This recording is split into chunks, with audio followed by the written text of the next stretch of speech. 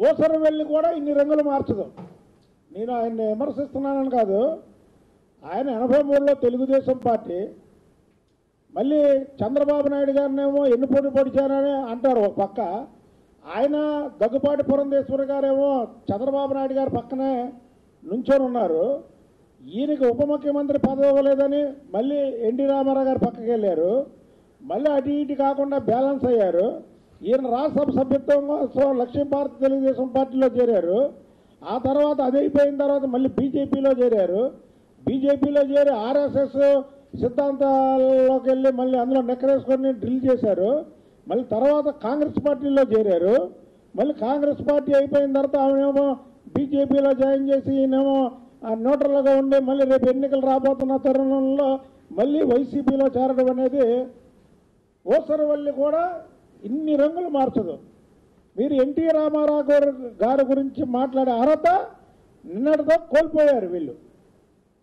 మీరు చంద్రబాబు నాయుడు గారు భువనేశ్వర్ గారి మీద ఉన్నటువంటి ఈర్షతో చేసే పనులు తప్ప మీ వల్ల ఆ చేరిన పార్టీలకు కూడా ప్రయోజనం లేదు.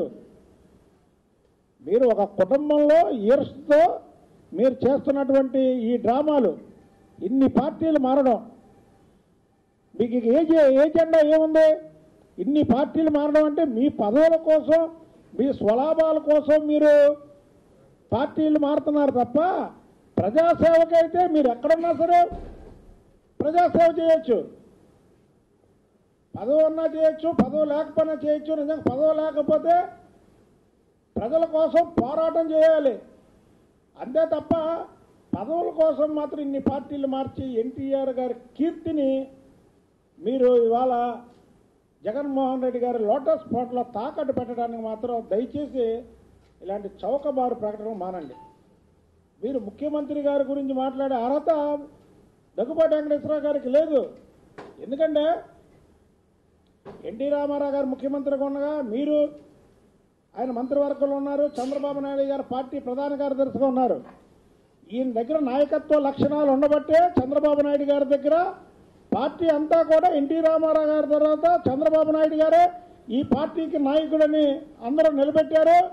ఇవాళ అలాంటి తెలుగుదేశం పార్టీని ప్రపంచ స్థాయిలో గుర్తింపు తెచ్చారంటే చంద్రబాబు నాయుడు గారు. మీకు నాయ నాయకత్వ లక్షణాలు ఏ కోణంలో లేవు కాబట్టికే మీరు ఇన్ని పార్టీలు మారాల్సి వచ్చింది. చంద్రబాబు నాయుడు గారు కూడా వైఎస్ రాజశేఖర రెడ్డి గారు ముఖ్యమంత్రిగా ఉన్నప్పుడు అనేక ఇబ్బందులు పడ్డారు. పది సంవత్సరాలు ప్రతిపక్షంలో ఉన్నారు. ఆటుపోట్లు ఎదుర్కొన్నారు. పార్టీని నిలబెట్టారు. ఈ రాష్ట్రం విడిపోయిన తర్వాత మళ్ళీ ముఖ్యమంత్రి అయ్యారు. అది పోరాట పటిమ. అది సిద్ధాంతం. ప్రజలకు ఏదన్నా సేవ చేయాలంటే ఒక సిద్ధాంతాన్ని ఎన్నుకోవాలి. ఆ సిద్ధాంతం మార్గంలో నడవాలి తప్ప పదవులే ముఖ్యం. ప్రజల కంటే అని ఇన్ని పార్టీలు మారినటువంటి దగ్గుబాటి వెంకటేశ్వరరావు గారు నిజంగా చంద్రబాబు నాయుడు గారిని విమర్శించడం అనేది చాలా విడ్డూరంగా ఉంది నిజంగా ఏపీ పరిస్థితి బాగోలేదనిపిస్తే ఎవరైతే మీ సతీమణి ఇవాళ బీజేపీ పార్టీలో మెయిన్ కీ రోల్లో ఉన్నారో ఆవిని నరేంద్ర మోడీని ఎందుకు నిలదీయటం లేదు? జగన్ మంచోడని కితాబు ఇవ్వడానికి మీకు ఇచ్చినటువంటి లంచం మీ కొడుక్కి ఎమ్మెల్యే సీటు. లేకపోతే జగన్ మంచోడండి చెప్పండి. పదిహేను నెలలు జైల్లో ఉన్నాడు. నలభై మూడు వేల కోట్ల ఈడీ ఆస్తులు జప్తు చేసింది. అందరికి తెలుసు ప్రజలందరికీ. జగన్ మంచోడు ఎలాగయ్యాడు మీకు? జగన్మో మంచోడు. తొమ్మిది సంవత్సరాలు పరిపాలన సాగించి వైఎస్ రాజశేఖర రెడ్డి గారు పదకొండు ఎంక్వైరీలు వేయిస్తే ఏ ఒక్క ఎంక్వైరీ కూడా రుజువు కాలేనటువంటి చంద్రబాబు నాయుడు గారేమో చెడ్డోడు. అంటే మీ దృష్టిలోనేమో నిజాయితీ పరులు మంచోళ్ళు కాదు అవినీతి పరులు మంచోళ్ళు. దానికి లంచం ఏంటి ఈయనకి? పరుచూరి టికెట్ వాళ్ళ అబ్బాయికి. కాబట్టికి మీరు ఏ పార్టీలోనా చేరండి. మీ పదవుల కోసం మీరు ఎన్ని పార్టీలన్నా మారండి.